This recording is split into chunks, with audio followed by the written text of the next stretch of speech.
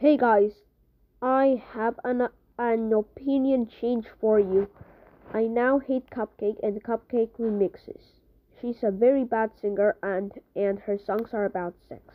And I hate sex because it's gross. And I'm so tired of seeing those Cupcake remixes.